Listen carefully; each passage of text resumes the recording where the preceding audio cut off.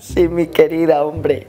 Yo que te contara, no, pues el hijo mío hoy por allá presentando el examen del IFES. Juicioso ese muchacho, ha salido tan echado para adelante, hombre, que nosotros estamos orgullosísimos con Francisco. Voy a preguntarle cómo le fue. No, yo me imagino que bien, un muchacho que ha sido tan entregado al estudio, que madruga, que está ahí siempre eh, pensando en salir adelante, hombre. Ay, mamita, la dejo porque ahí llegó, ahí llegó. Chao. con Jesús, pero no era de Jesús. Hola, papito, ¿qué pero se no cuenta? ¿Cómo le fue? Hola, ma. ¿Qué ¿Cómo le cuenta? fue en ese examen del IFES? No, pues bien, ay, ¿para qué? Puras preguntas fáciles, eso yo no sé para qué hacen esos exámenes de IFE ni huevonadas, pero bien.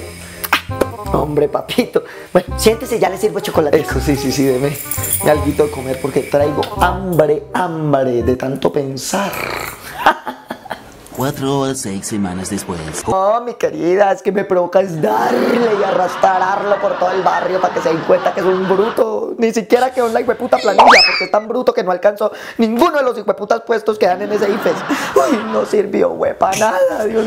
¿Será que vaya a cargar bultos a Corabastos? Yo no sé, yo no le veo Dios. Güey, puta, viendo que la profesora me dijo, lleve chocolate que eso lo ayuda a pensar más. Y ese triple, güey, puta chocolatina no me sirvió para nada. Uy, es que me provoca es darle.